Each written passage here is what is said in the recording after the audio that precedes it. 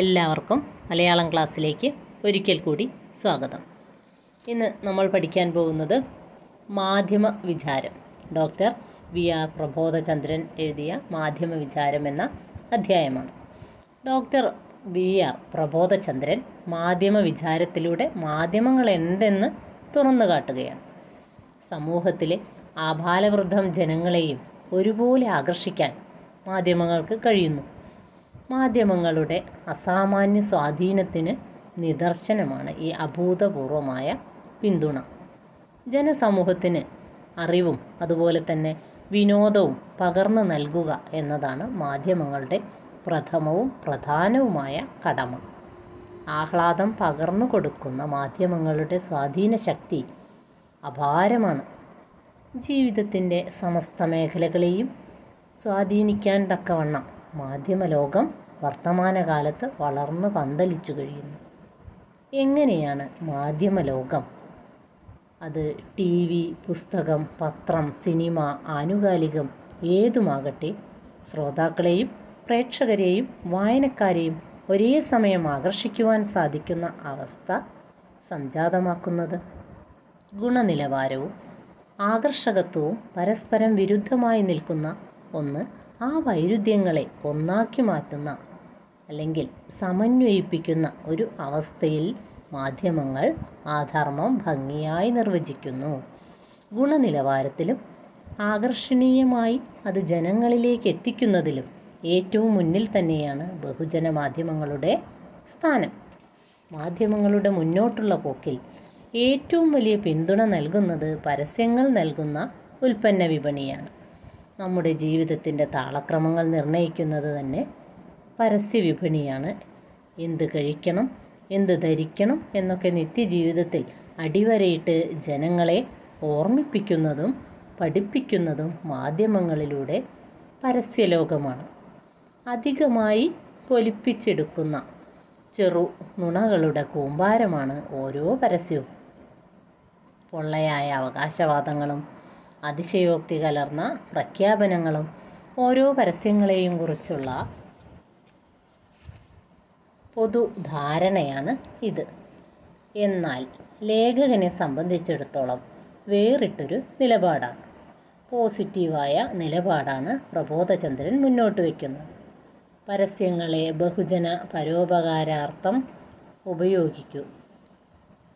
അവിടെ അവ ശ്ലാഘനീയമായ നിലപാടാണ് പുലർത്തുന്നത്.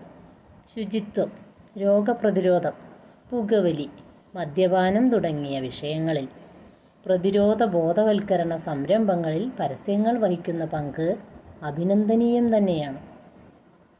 സമൂഹത്തിന്റെ പൊതുനന്മയ്ക്ക് വേണ്ടി മാധ്യമങ്ങളുടെ നേതൃത്വത്തിൽ നടക്കുന്ന പ്രവർത്തനങ്ങളെ പുകഴ്ത്തുകയാണ് ആര് ചെയ്യുന്നത്? ലേഖകൻ പി ആർ പ്രബോധചന്ദ്രൻ. ജനങ്ങളെ ഹഠാതാകർഷിക്കപ്പെടുന്ന പുസ്തകങ്ങൾ.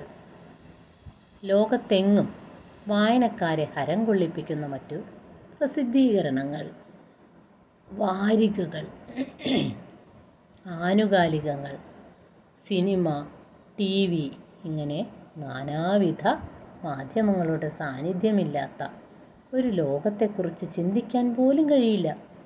അത്രമാത്രം ജനങ്ങളുടെ ഹൃദയത്തിൽ ചേർന്ന് നിൽക്കുന്ന ഒന്നായി മാധ്യമങ്ങൾ ബഹുജന മാധ്യമങ്ങൾ പൊതുജനങ്ങളിൽ ചെലുത്തുന്ന സ്വാധീനം അസാധാരണമാണ്. ഈ ഓരോ മാധ്യമങ്ങളുടെയും യഥാർത്ഥ അവസ്ഥയിലേക്ക് ആഴത്തിലേക്ക് ഇറങ്ങിച്ചെല്ലുമ്പോൾ നമുക്ക് കണ്ടെത്താൻ കഴിയുന്നത് ഓരോ മാധ്യമത്തിനും പോസിറ്റീവും നെഗറ്റീവുമായ വശങ്ങൾ ഉണ്ടെന്ന് തന്നെയാണ്.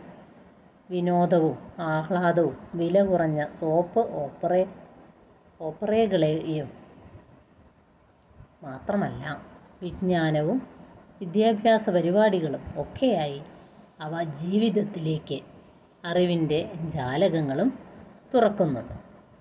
മാധ്യമങ്ങൾ ഏറെ ജാഗരൂകരാകേണ്ട ഒരു കാലഘട്ടം കൂടി കൂടിയാണ് ഇത്. വാർത്തകൾ എപ്പോഴും സംശുദ്ധമായിരിക്കണം.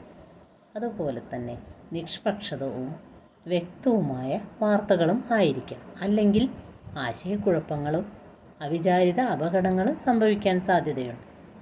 രണ്ടാം ലോക മഹായുദ്ധത്തിന് ശേഷമാണ് മാധ്യമരംഗം അഭൂതപൂർവമായ ഒരു വളർച്ച നേടിയത്.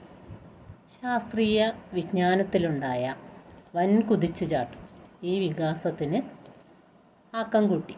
ഏതായാലും കഴിഞ്ഞ ശതകത്തിലെ ഏറ്റവും വലിയ മാധ്യമ വിസ്ഫോടനം നടന്നത് ടെലിവിഷൻ രംഗത്താണ്.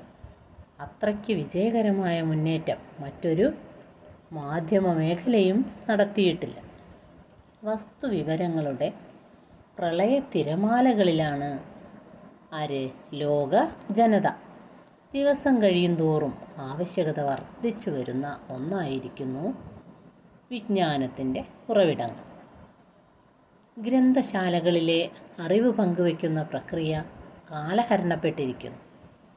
അപ്പോഴാണ് അവിടെ നമ്മുടെ വിശ്വസ്ത സേവകനായി കമ്പ്യൂട്ടർ കടന്നു വരുന്നത്. കമ്പ്യൂട്ടറുകളുടെ ശൃംഖലകളിലൂടെ ലോകത്തിന്റെ ഏതു കോണിൽ നിന്നും നൊടിയിട കൊണ്ട് വിജ്ഞാനം കൈക്കുമ്പിളിലാക്കാൻ സാധിക്കുന്നിടം വരെ എത്തി ആധുനിക യുഗത്തിന്റെ മാധ്യമ വഴികൾ.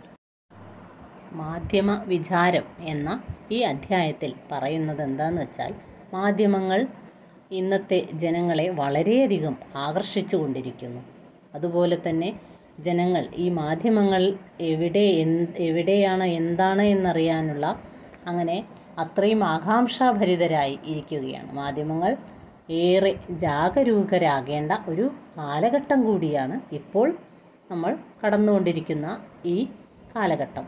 എപ്പോഴും എന്താണ് വാർത്തകൾ നല്ല സംശുദ്ധമായിരിക്കണം. അതുപോലെ തന്നെ നിഷ്പക്ഷവും വ്യക്തവുമായ വാർത്തകളാണ് ജനങ്ങൾ അറിയാൻ ആഗ്രഹിച്ചുകൊണ്ടിരിക്കുന്നത്.